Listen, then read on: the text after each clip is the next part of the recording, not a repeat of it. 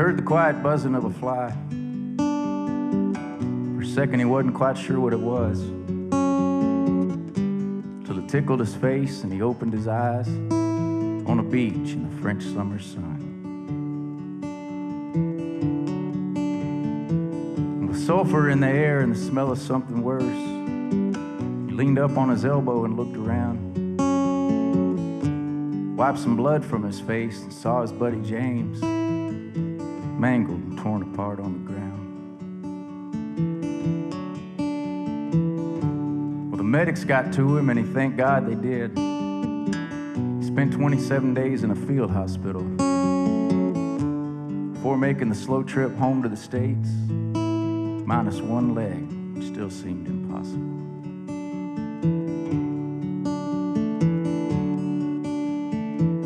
He got a job sorting mail at the Birmingham post office.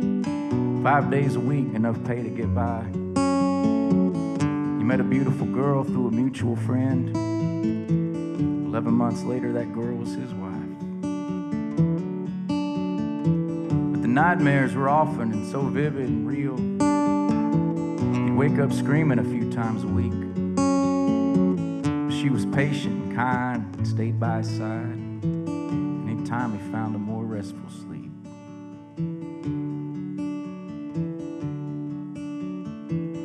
By the next year, they had him a son who got drafted when he turned 18. He went off to fight, but he came back whole, met my mom, and they had me.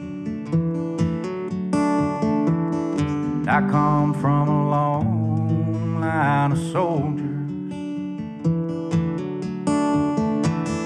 whose blood still flowing through me.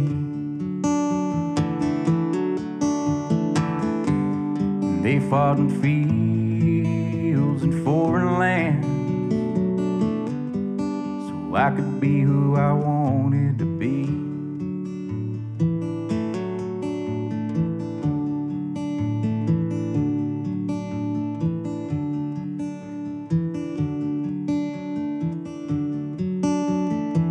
Well, I broke the streak and I went to college instead of Kabul or Kuwait. I earned my degree and I got hired to teach Shakespeare, Wordsworth, and Yeats. At a decent sized high school outside of Atlanta. And I did the best that I could. Yeah, that's heady stuff for kids that age. But all in all, I think I did some good. I come from a long line of soldiers blood still flowing through me.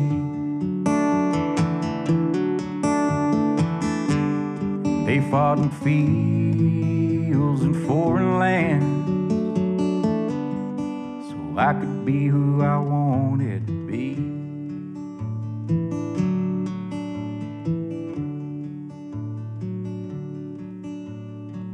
Well, he heard the quiet buzzing of a fly. Second, he wasn't quite sure what it was. Till it tickled his face and he opened his eyes. And then he died there in that French summer sun.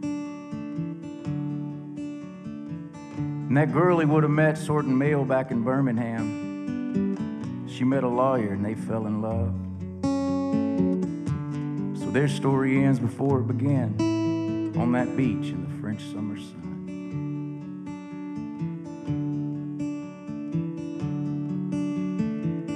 And that child she had, well, that wasn't my dad, and I wasn't ever his son. So my story ends before it began on that beach in the French summer sun. And I come from a long line of soldiers whose blood flowed